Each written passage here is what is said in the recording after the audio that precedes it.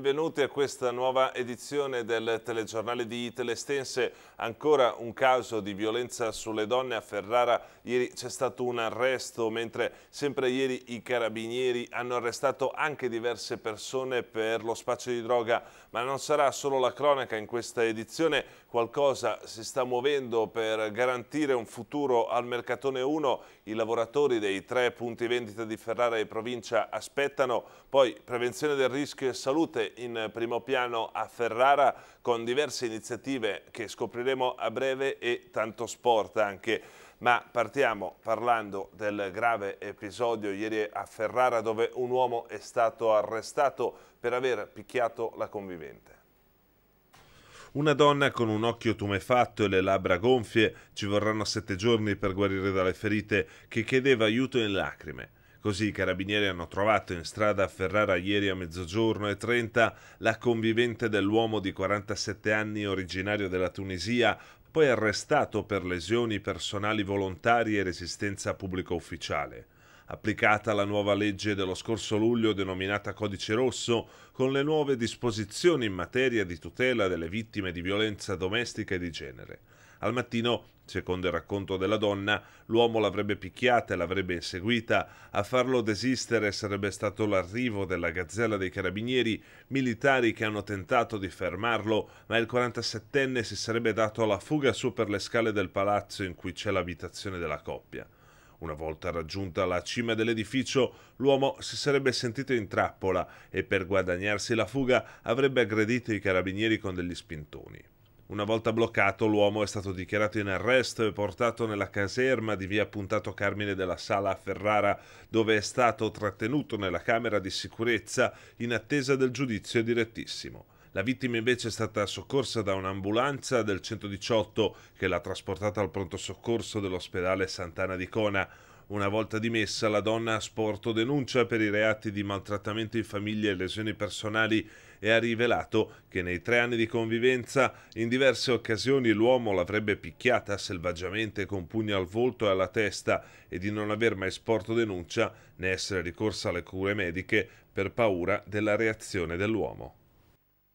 E c'è anche eh, una raffica di arresti per droga a Ferrara e provincia. Ieri sera i carabinieri del Norma hanno scoperto 2 grammi di cocaina e marijuana e quasi 3.500 euro, probabile provento dello spaccio nell'abitazione di un uomo di 25 anni di origine nigeriana, poi arrestato per il reato di spaccio di sostanze stupefacenti. Il presunto pusher era stato scoperto mentre vendeva in via Allende, nella zona del barco in città, mezzo grammo di cocaina a un ferrarese di 37 anni. E sempre ieri sera Macco di Goro invece nell'abitazione di un ragazzo di 19 anni con precedenti con la polizia, i militari hanno trovato 90 grammi di marijuana più tutto il necessario per confezionare le dosi di sostanza stupefacente. Il giovane è stato così arrestato come il 32enne originario di Reggio Calabria, trovato ieri mattina a 100 e portato nella casa circondariale a Ferrara, uomo che dovrà scontare due anni di carcere per i reati di detenzione e spaccio di sostanze stupefacenti commessi a Bagnara Calabra nell'ottobre del 2016. E passiamo all'economia e parliamo della crisi del Mercatone 1, il tavolo istituzionale che si è tenuto, eh, si è tenuto ieri, un tavolo istituzionale al eh, Ministero dello Sviluppo Economico, il Mise a Roma, sull'avvertenza appunto eh, del Mercatone 1 che interessa anche tre punti vendita del Ferrarese. È stato detto che ci sarebbero dei compratori all'orizzonte. 24 tra società italiane e internazionali sarebbero concretamente interessate al Mercatone 1, 11 di queste hanno già avuto accesso alle informazioni aziendali. E quanto sarebbe emerso dall'incontro che si è svolto martedì a Roma al Mise, il Ministero dello Sviluppo Economico, a dirlo i commissari straordinari di Mercatone 1 che stanno gestendo il post fallimento della catena di negozi acquistati circa un anno fa da Shernon Holding e che ha dichiarato il fallimento a maggio scorso. A Ferrara sono tre i punti vendita chiusi da fine primavera, Ferrara, San Giuseppe di Comacchio e Mesola. In tutto sono più di 90 i lavoratori che stanno attendendo una svolta della situazione. Qualche speranza potrebbe essere arrivata dall'incontro al Mise tra i commissari, le organizzazioni sindacali e le regioni sul percorso da seguire e le iniziative da porre in atto.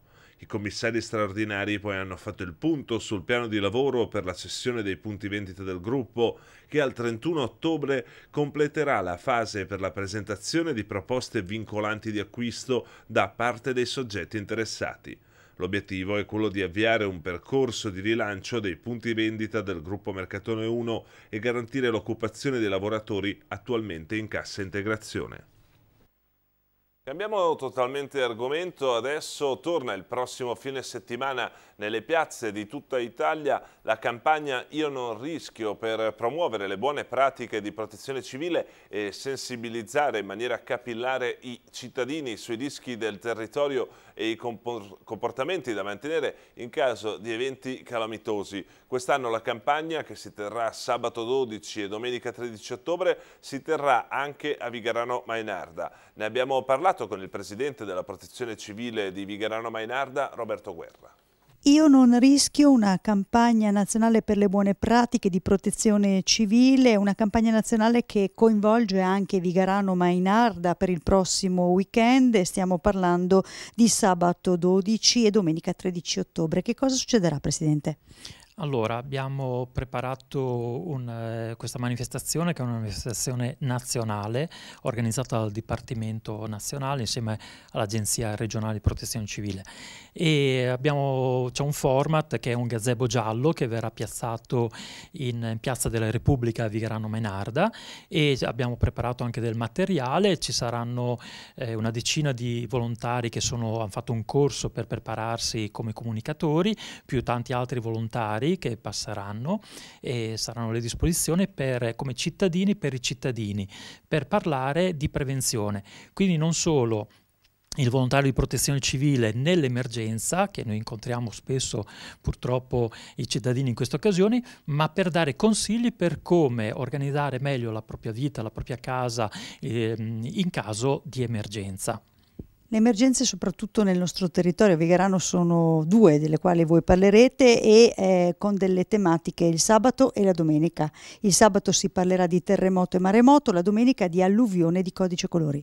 Certo, allora il, il, proprio il Dipartimento ci tiene che vengano in ogni giornata identificato una, una tipologia di rischio e ovviamente per il nostro terremoto siamo nel, cratere, nel, nel nostro territorio, siamo nel cratere del sisma 2012, parleremo di terremoto ricostruendo anche la storia dei terremoti nel, nel tempo e di maremoto, maremoto che non, non interessa direttamente eh, noi, però sappiamo benissimo che una, abbiamo una costa, abbiamo anche spesso andiamo in vacanza e possiamo, quella ragazzina che ha salvato la famiglia perché sapeva come comportarsi in caso di tsunami. La domenica invece parleremo dell'alluvione che è praticamente il rischio più grosso nostra, del nostro territorio e eh, parleremo del codice colore, di come interpretare le allerte che arrivano da, dal Dipartimento, dalla Regione. Porteremo anche uh, la, la, novità che ci sarà sperimentata a breve da parte del Dipartimento Nazionale di un um, sistema di allertamento nazionale tramite dei radar, tramite le celle telefoniche, in modo da arrivare capillarmente su dove succede il rischio. Ricordiamo il ruolo dei volontari, una quarantina a Vigarano. E il ruolo dei volontari è importantissimo perché va bene che il presidente, il consiglio direttivo porta queste iniziative sulla, in associazione, ma senza i volontari uno non riesce poi a portarle avanti. Quindi c'è un bel team, una bella squadra, eh, gente che ha, dà il proprio impegno e che, sia in questa attività qui, ma anche quando ci sono state le emergenze, quando ci sono le cose. Quindi un grazie a tutti i volontari, sono più di ehm, 7.000 in tutta Italia che faranno questa attività e ai nostri volontari di Vigarano Menarda.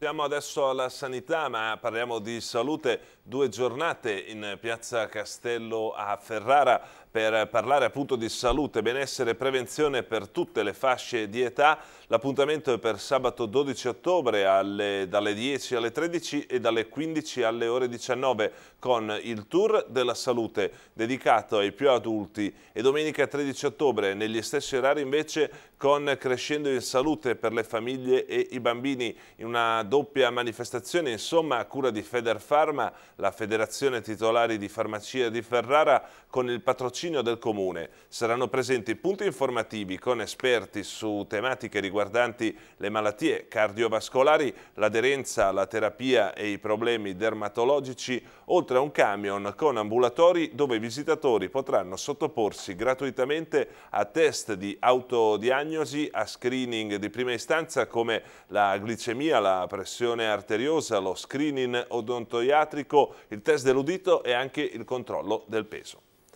E eh, prosegue la scuola internazionale di birdwatching attualmente in corso presso il parco del Delta del Po. Abbiamo intervistato due dei ragazzi iscritti al corso, ma eh, una ha già inserito nel nostro territorio un ragazzo e uno invece proveniente da Roma. Sentiamo come stanno vivendo questa esperienza. Parliamo con un giovane che è già coinvolto in questo, diciamo, nelle iniziative legate al territorio, che comunque già opera appunto su Comacchio. Uh, come nasce appunto il tuo interesse verso questo corso e che aspettative hai, insomma, anche per incrementare quello che già fai? Beh, nasce da, da, da, quando ero piccolo, sono sempre stato appassionato di natura, eh, ho seguito tutto un percorso di studi legato alla biologia e alla conservazione dell'ambiente e poi cominciando a lavorare nel territorio con il progetto di lotta biologica alle zanzare e eh, con eh, i turisti valle, nelle valli di Comacchio mi sto radicando in un territorio dove sono venuto anche ad abitare da circa sei anni, io provengo dalle campagne del, della, del Ferrarese, dalla bassa Ferrarese e di conseguenza ogni opportunità che questo territorio offre di approfondire il, eh, il tema naturale del turismo sostenibile cerco di prenderlo al volo, insomma, mi interessa molto. Quindi diciamo un investimento nel, nel, tuo futuro, nel proprio futuro, per quello che riguarda le potenzialità del territorio che hai già colto da tempo però. Esatto, esatto. Sto cercando di... Eh, eh, come dire, andare sempre più nel, nel profondo per, per, cercare di trarre il meglio da questo, da questo, territorio e ovviamente anche per il mio futuro in questo territorio. Ecco. Tanta gente da varie zone d'Italia e non solo, con noi appunto abbiamo una persona, un giovane appunto che arriva da Roma per capire il perché appunto l'iscrizione a questa scuola e soprattutto che aspettative ci sono anche per una persona che vive nella capitale. Allora diciamo che sono sempre stato interessato, sempre fatto volontariato nell'ambito dell'ambientalismo, in associazioni ambientaliste, quindi lavorando già nel turismo questo è un, un modo per con, connettere le due cose, trovare una passione e unirla in ambito lavorativo. Ecco. Ma ci sarebbe disponibilità anche a trasferirsi da queste parti o diciamo sarebbe una collaborazione più a distanza? Questo non lo so ancora, però magari non lo escludo a prescindere. Cioè. Mm, diciamo queste cose comunque in ambito naturale eccetera funzionano molto molto bene in comunità magari un po' più piccole spostandosi un po' più dalle grandi città quindi certo non sarebbe male diciamo, ritornare in un posto un po' più piccino e stabilirsi ecco. Da questo corso che aspettative ci sono? Eh, vorrei diciamo, un po' apprendere le modalità, le tematiche, approfondire le tematiche per, uh, per magari aprire anche qualcosa di mio. Ecco, adesso lavoro in ambito turistico, però ovviamente essendo un dipendente devo comunque eh, stare alle grandi regole del turismo, del turismo romano, ecco, della capitale.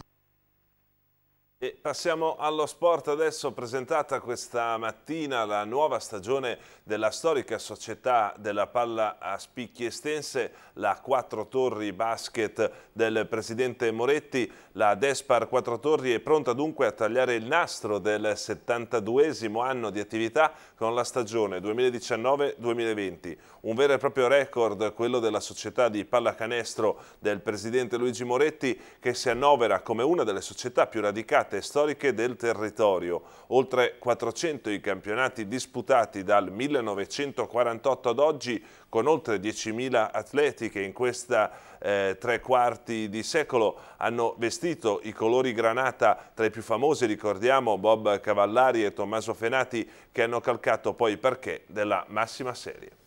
E adesso invece parliamo e passiamo alla SPAL, presentato ieri mattina l'album edito su cui potranno essere incollate le figurine che ritraggono i componenti della famiglia biancoazzurra, proprietà, dirigenza, staff tecnici e ovviamente tutti i giocatori di prima squadra e anche della primavera. Sono inserite, oltre alla sezione storica, quella anche dedicata allo stadio e al centro GB Fabri, ma anche i tifosi presentato l'album eh, delle figurine SPAL. Ovviamente non poteva essere che abbinato alla grande famiglia della Panini. Giacomo Giorgi, cosa troviamo all'interno eh, di questo raccoglitore, possiamo definirlo così, di questa pubblicazione veramente interessante? raccoglitore sicuramente di emozioni emozioni del passato, emozioni del presente ed emozioni eterne, perché Sicuramente le sezioni che andremo a vedere nell'album riguardano anche dei monumenti storici, no?